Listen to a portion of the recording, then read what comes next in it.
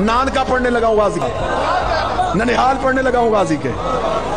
अब्बास के नाना हजाम अरब के वो बहादुर जंगजू थे कि अरब के बहादुर अपनी तलवार के कब्जे पे हजाम का नाम लिखवाते थे।